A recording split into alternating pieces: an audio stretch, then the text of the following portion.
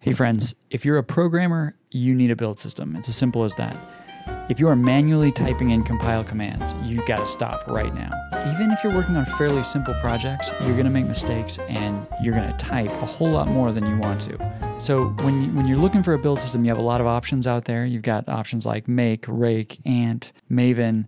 Now, Make isn't necessarily my favorite, but it's universal. And so whether or not it's the one you whether or not it's, it's your favorite, it's one that you should definitely know. Okay, so without further ado, let's learn the basics of Make in 60 seconds.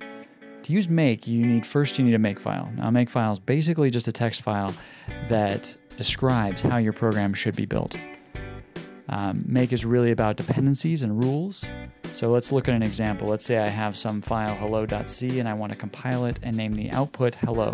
Okay, so I just add a rule uh, with a target hello. That's that's what I'm going to produce that depends on hello.c.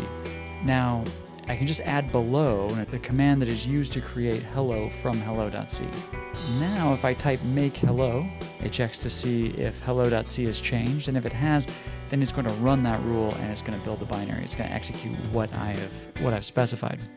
And of course, I can add additional source files to the dependency list. You can, of course, add more rules. I can create an all task that'll run by default, so I can just type make and I don't even have to specify the target. It's a good idea to use variables to specify things that you might want to change in the future. And finally, it's it's a good idea to have a clean rule that deletes all of your generated files. So that way you can easily blow everything away that you've generated and recreate a clean build. Now, obviously, there's a lot more that you can do with make. But for now, you have the basics that you'll need to get started using Make in your projects. So try it out. Automate your builds, my friends, and you will type less, make fewer mistakes, and have more fun programming. Until next time, I'll see you later.